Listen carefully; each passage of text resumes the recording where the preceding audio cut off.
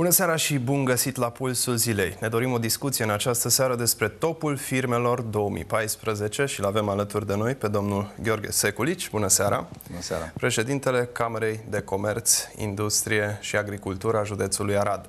Uh, ne propunem în deschiderea acestei emisiuni să creăm o bază de discuție, să vorbim despre ce înseamnă topul firmelor, și despre ce înseamnă tradiția industriei arădene. Câteva repere în așa fel încât să putem să ne dăm seama ce importanță are un uh, astfel de eveniment în uh, viața economică a Aradului până la urmă.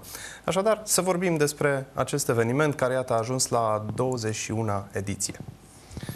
În primul rând, aș vrea să vă mulțumesc pentru invitație și mă bucur că pot să spun câteva lucruri despre acest deosebit de important eveniment în viața arădenilor, cel uh, cu ocazia celei de-a 21 ediții a topului firmelor. A intrat deja în tradiția agențiilor economici și nu numai și al Camerei, acest eveniment deosebit pentru că el uh, reprezintă de fapt barometru activității economice al fiecărei societăți comerciale, uh, barometru realizat pe baza datelor furnizate de, de agențiile economice, de uh, direcția fiscală la nivel local și național, de evidențele pe care le avem, de fur- datele furnizate, de colaborările pe care aceste firme le au cu Camera de Comerț. Deci este de fapt un uh, complex de date care concură la realizarea acestui top la nivel local și național. Nu depinde de dumneavoastră întocmirea acestui uh, top? Asta nu, categoric, categoric. Există niște indicatori clari. Dar dacă ar fi să vorbim aici despre tradiția economiei arădene, știm că există o lungă istorie a acesteia. Am avut industrie aici și s-au construit automobile în acest oraș încă, uh, eu știu, acum 70-80 de ani. A existat și o perioadă de regres, putem să spunem, acea perioadă comunistă în care multe lucruri s-au schimbat și au fost diferite, dar iată, am revenit la ceea ce a fost atunci și am început să clădim ceva. În ce context a venit acest eveniment în, la începutul anilor 90? Ce fel de condiții economice erau atunci? Cum se trezea economia la viață după acea lungă perioadă de totalitarism? Sigur, este e un lucru extrem de important pentru că la nivel economic Uh, județul Arad, orașul Arad, uh, are o tradiție industrială, una de excepție la nivel național. Uh, ceea ce vedem în ultima perioadă ca dezvoltare economică nu este întâmplătoare.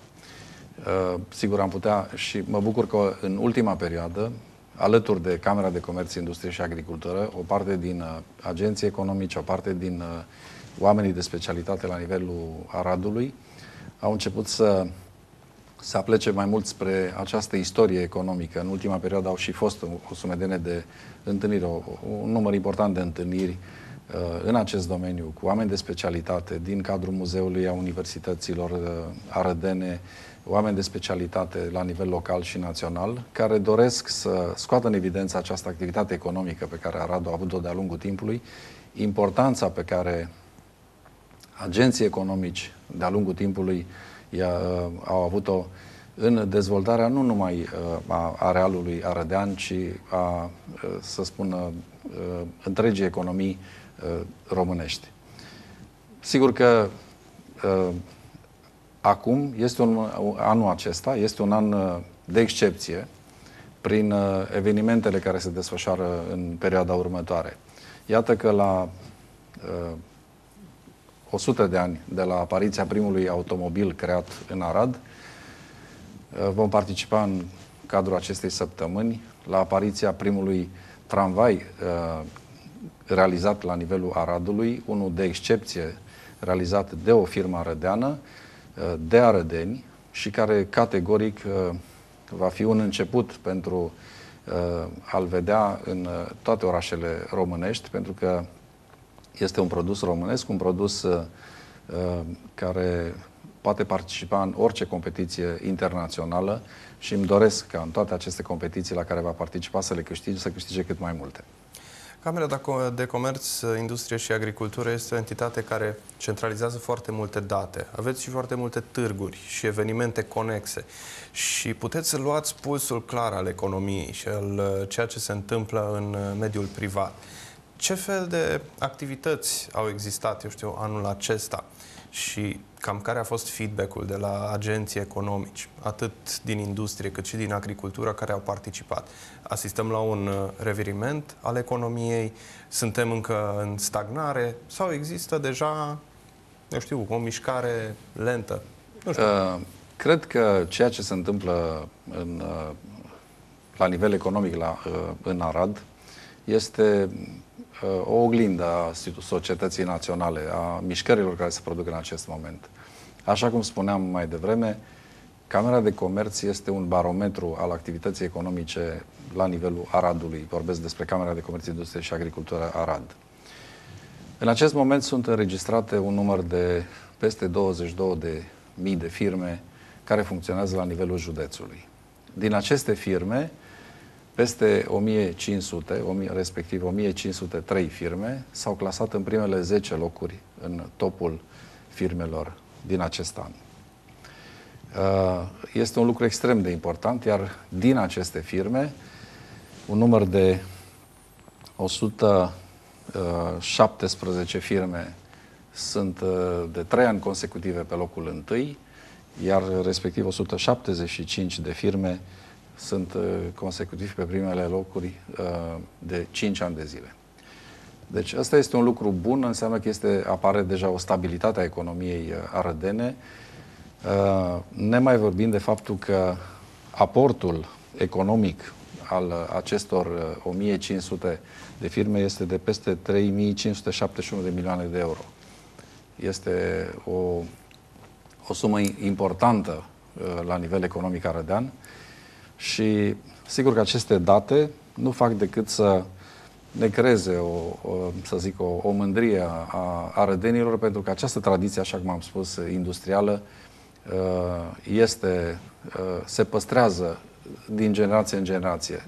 Așa cum spuneam, nu este un lucru care s-a întâmplat acum, ci funcționează de 100 de ani în permanență. Economia arădeană a fost cea care a adus uh, elemente de noutate, fie că a fost în perioada dinainte de Uh, al doilea război mondial, în perioada interbelică, fie că a fost în perioada, inclusiv în perioada comunistă. Așa cum vă spuneam, în acest moment se pregătește un material foarte important de uh, uh, câțiva specialiști din Arad, care vor scoate în evidență această activitate economică pe care Aradul a avut-o de-a lungul timpului și importanța pe care economia arădeană a avut-o la nivel național. Uh, Sigur că la această, uh, la fel aș vrea să punctez faptul că în acest an un număr de 63 de firme uh, sunt, uh, au intrat în topul firmelor naționale, sunt în primele trei locuri la nivel național, ceea ce este extrem de important ca aport economic, inclusiv la nivel național, și vor fi premiate în cadrul topului firmelor uh, Camerei de Comerț uh, a României uh, la începutul lunii noiembrie.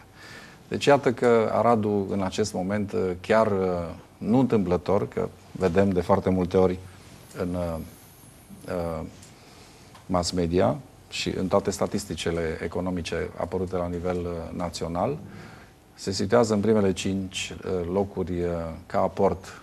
Sigur, e un vorbesc în primele cinci pentru că activitatea este o activitate fluctuantă în funcție de genul de activitate pe care îl desfășoară fiecare firmă sau, să zic, perioada economică pe care o are fiecare firmă, dar uh, uh, în, uh, într-o dezvoltare a Radului, în această zonă, dacă ar fi să gândim și o dezvoltare metropolitană în care participă Timișoara cu Aradul împreună, sunt practic al doilea pol de dezvoltare economică al României în acest moment. Deci nu avem decât să fim mândri că această economie se dezvoltă în permanență și este, uh, este sigur o mândrie a noastră pentru că nu face decât să ridice nivelul de trai uh, al cetățenilor Aradului. Asta o vedem în primul rând în șomajul foarte scăzut pe care îl avem în această zonă și dezvoltarea regiunii comparativ cu alte regiuni ale țării. Pentru că există acea sedimentare de care vorbeați, acea stabilitate pe care deja o avem aici, putem să ne dăm seama cam care va fi trendul, cam care va fi dezvoltarea și ce direcție va avea acea dezvoltare. Ați vorbit aici și despre genul de activități uh, ale firmelor care intră iată în top și pe care le gestionați. Cam despre ce putem să vorbim în, uh, eu știu, 5 sau 10 ani uh, referitor la dezvoltarea Aradului? Cam în ce direcție o luăm? Mergem spre automotive, uh, zona serviciilor, uh, așa ca să ne dăm seama, poate, o eu știu, câteva idei, um, câteva puncte vedeți, de sprijin. Uh, există o, o, un talent al cetățenilor în această zonă și o, o aplecare spre orice gen de activitate de, de acest fel. Și pot să, dacă le luăm uh, pe parcursul a celor 100 de ani, să zicem, în care ne uităm uh, cum a evoluat uh, industria rădeană. Am avut activități în toate domeniile, începând de la producția de automobile, producția de avioane, producția de autobuze. Primele, de fapt, au fost producția de autobuze în Arad. Am avut producție de textile, una dintre cele mai mari din țară. Am avut uh, producția, uh, vorbesc nu de faptul că am avut, ci că avem și în acest moment. Uh, vreau să spun, mă refer la, la aspectul în timp. Uh, Bine, a existat și o deconstrucție a industriilor sigur. Uh, după decembrie 89. Pentru că o să mă refer și la acest lucru, mamut. sigur. Uh, specialități de la strunguri, ceasuri, tot ce înseamnă păpuși, practic industrie de automatizări, practic au fost nu cred că a existat un domeniu în care Aradul să nu fie, să fie scos în evidență prin activitatea pe care, și performanța pe care a scos-o a, a, și-a evidențiat-o în permanență. Această, uh, acest lucru a fost posibil datorită, în primul rând, oamenilor, cetățenilor, a tradiției care a existat în fiecare familie rădeană. Uh, a, o tradiție a muncii, o tradiție uh, transmisă din generație în generație, o aplicare, dovadă că aceste tramvaie se fac de la zero, practic, în Arad a faptului că autoturismele la vremea respectivă s-au făcut de la zero. A fost într-o anumită perioadă, vorbind cu unul dintre cetățenii mai în vârsta a Aradului, a fost inclusiv o, o fabricuță mică care făcea stilouri în Arad, biciclete. Deci au fost o grămadă de, in, de industrii, nu mai vorbim de cele de panificație, de îmbrăcăminte, care sunt și în momentul de față. O diversitate alături de care s-a dezvoltat inclusiv agricultura arădeană, care a fost una de, de excepție și care a rămas în continuare. Uh, aceste lucruri, ca să revin la întrebarea pe care mi-ați spus-o mai devreme, se regăsește în uh, activitatea pe care o desfășurăm noi uh, prin acel pavilion expozițional unde organizăm aceste târguri, în care încercăm să arătăm și să adunăm alături oamenii care își desfășoară activitatea într-un anumit domeniu, să-și poată prezenta performanțele, să uh, realizăm contacte economice între toți agenții economici care participă acolo, seminarii, cursuri uh, și specializări, adică ceea ce trebuie să facă o cameră pentru membrii ei și să-și uh, împlinească, cum să spun, activitatea pentru care practic a fost creată. Cu atât mai mult cu cât Camera de Comerț din Arad are și o tradiție extraordinară. Deci ea a fost uh, înființată în 1870 uh, cu o tradiție extraordinară, cu niște oameni remarcabili, uh, persoane care au condus această cameră au avut un cuvânt de spus în deciziile care se luau într-o anumită perioadă la nivel european, lucru pe care ne-l dorim și noi în perioada următoare, să avem oameni cât mai mulți de specialitate. Eu încerc să mediatizez cât mai mult activitatea Camerei să atrag foarte mult uh, oameni de specialitate, oameni cu performanță, uh, pentru că este uh, locul și modul în care își pot manifesta în perioada următoare uh, punctul de vedere uh, vis-a-vis -vis de legislația pe care o are România, legislația europeană. Uh, toate aceste puncte de vedere le poți transmite mult mai ușor prin intermediul camerei. Eu cred că în cursul anului, anului viitor vor fi și niște schimbări la nivelul uh, legislației naționale în privința camerelor de comerț, adică li se vor da uh, importanța pe care trebuie să o aibă. Uh, și sunt absolut convins că în acel moment, uh, practic, nu facem decât să ne aliniem la legislația europeană. Modelul care a fost uh, gândit este cel al țării vecine, Ungaria, care are cameră, o cameră destul de puternică în acest moment și respectiv uh, modelul german, care va fi, uh, a fost agreat, să spun, la nivelul uh, camerelor naționale. Vorbeați aici parcă de un vid legislativ. De ce suferă acum, în momentul de față, Camera de Comerț din punct de vedere al legilor? A suferit niște transformări după 1992, când a fost înființată, să spun, s-a consolidat într-un fel camera, timp de 10 ani de zile, a avut o finanțare prin apartenența registrului la Camera de Comerț, a avut o finanțare sigură și pe baza căreia s-au dezvoltat un, un număr important de programe, de activități cu care lumea deja era obișnuită și sigur că fiecare cameră și-a gestionat aceste fonduri cum a considerat că îi sunt mai bine, mai folositoare. Șansa noastră că uh, la nivelul Aradului, uh, pe un sprijin pe care l-am primit uh, extrem de important din partea administrației locale, a fost realizat acest pavilion expozițional cu sprijinul administrației locale. Da, un pas foarte mare înainte. Foarte important a și... centralizat întreaga regiune, practic. Exact. Aceste Suntem în acest, în acest moment, practic, Aradul este, are beneficiază de al doilea pavilion expozițional după Roma Expo, la nivel național, ceea ce nu e un lucru uh, puțin, e foarte greu să mai realizezi uh, o investiție de acest gen. Pe de altă parte, în momentul, să zic, integrării complete la nivel european, vom uh, avea șansa de a fi reprezentanții regionali prin acest pavilion expozițional, în care se vor putea uh, realiza evenimente importante la care să participe uh, și agenții economice, așa cum participă de fapt și acum, dar într-un număr mai mic, din Ungaria, din Serbia, din România, din zona de vest. Uh, un lucru important pentru, în primul rând, pentru economia arădeană, pentru că aici se vor întâlni, practic, un număr important de agenți economici care, dacă vor găsi condiții prielnice, vor putea să investească aici, vor putea să-și găsească colaborări în această zonă, care nu fac decât să dezvolte zona din punctul nostru de vedere. Care este potențialul încă neexploatat al uh, regiunii, al zonei noastre? Pentru că, eu știu, investitorii parcă mai sunt reticenți. Sau este ceva ce e doar aparent și nu, ei vin către nu. noi? Uh, uh, un lucru care nu este exploatat din punctul de vedere este uh, turismul în zonă. Și turismul și serviciile care încă nu sunt la nivelul la care ne-am dorit. Din punctul meu de vedere, cu atât mai mult cu cât uh, Uh, zona de agrement, zonele de agrement, care nu sunt uh, la nivelul activității economice care se desfășoară. Dacă ne uităm, trecem dincolo la unguri și deja vedem la o industrie mult mai puțin dezvoltată decât a noastră, la o, să zic, uh, și o activitate economică mult mai inferioară activității economice de aici, zonele de agrement sunt exploatate la maxim și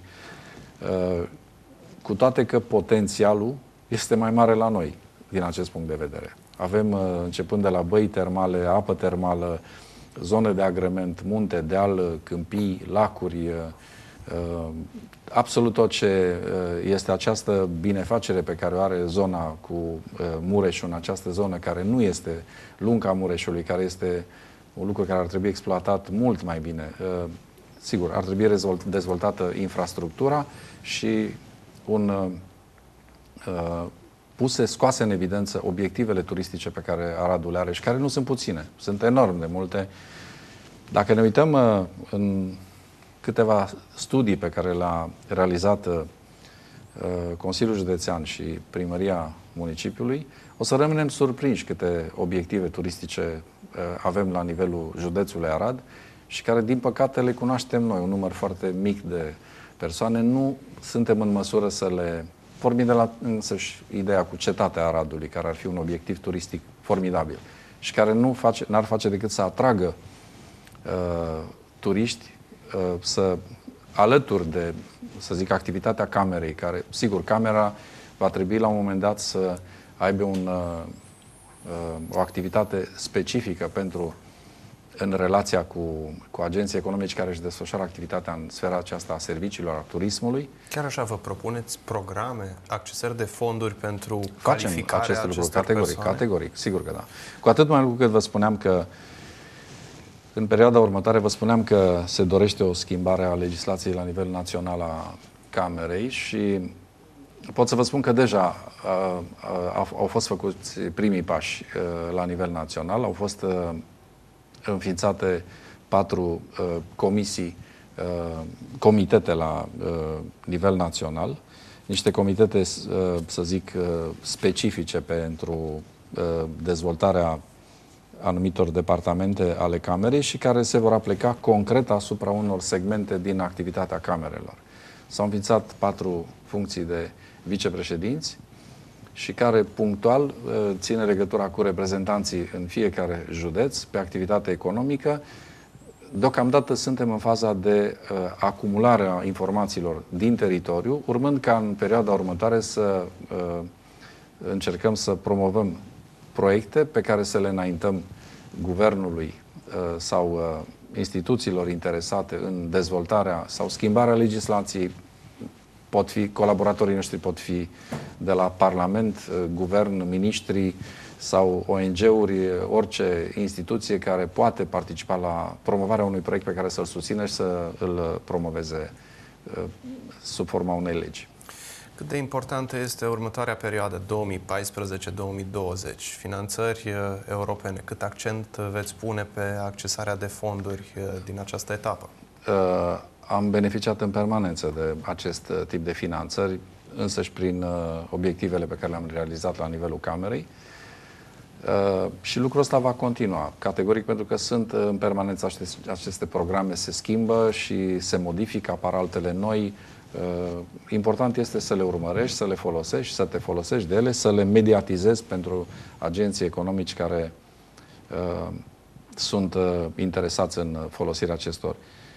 Eu aș vrea să punctez un lucru care e foarte important, pentru că, într-adevăr, uh, datorită uh, conjuncturii, să spun, așa cum vă spuneam, până în 2002, am avut această finanțare uh, din uh, apartenența Registrului Comerțului la Camera de Comerț. Din 2002, din păcate, el a fost uh, retras uh, din uh, cadrul Camerei și a urmat o perioadă destul de tristă pentru foarte multe camere care nu au fost pregătite pentru acest impact în care nu au mai avut niciun suport financiar. Au trăit din, uh, sau au activitate doar din, uh, din cotizația membrilor sau din aceste proiecte, programe pe care le-au accesat din fonduri europene. Practic, nu au fost pregătiți cu echipe care exact, să poată exact, să acceseze da. aceste finanțări. Aceste lucruri vor fi schimbate și lumea va trebui să înțeleagă că, uh, de fapt, Camera este uh, o instituție cu o legislație foarte uh, clară, concretă, dar extrem de flexibilă, în care fiecare agent economic, ca așa a fost gândită, ăsta este motivul pentru care camerele de comerț Uh, la nivel mondial sunt extrem de importante în relația agenților economici între ei și a lor cu uh, administrațiile locale și centrale. Este un punct de networking, să zic exact, așa. Exact. Și asta, asta va trebui să devină și camera în România în perioada următoare. Și lucrurile se vor schimba foarte repede pentru că așa cum uh, marea majoritate a instituțiilor s-au aliniat la legislația europeană, așa cum vedem camere de comerț extrem de puternice în, în vest, în Austria, în Germania, unde Uh, Camera de Comerț din Austria este una dintre cele mai puternice din Europa uh, și are programe speciale de reconversie profesională, de pregătiri profesionale pe domenii ale șomerilor. Deci ca să îți poți lua ajutorul de șomaj, trebuie să te înscrii la Camera de Comerț, să faci un curs de pregătire, reconversie sau să îți găsești un loc de muncă prin Camera de Comerț. La fel în Germania și, sau în multe alte state. Uh, Ăsta e lucru pe care îl dorim și noi aici, adică uh, Camera trebuie să fie o instituție care să vină în sprijinul agenților economici, a uh, celor care sunt interesați în uh, reconversii profesionale, a dezvoltării economice în anumite domenii, să fie un consultant, adică dacă ai nevoie de o informație clară, corectă și sigură, să poți să apelezi la cameră oricând ai nevoie pentru o informație corectă. Ăsta e motivul pe care acest top al firmelor vreau să fie unul de excepție anul ăsta în care să încercăm să transmitem acest sentiment tuturor agenților, tuturor celor care sunt alături de noi la acest moment important. Dacă ar fi încă ceva de transmis pentru cei care, eu știu, îi invitați la acest eveniment, iată avem mai puțin de un minut uh, până la finalul emisiunii. Cum sună această invitație a dumneavoastră? Să vină cu sufletul deschis la această cameră, pentru că, în primul rând, uh, la acest eveniment, pentru că este un eveniment de excepție a acestui an.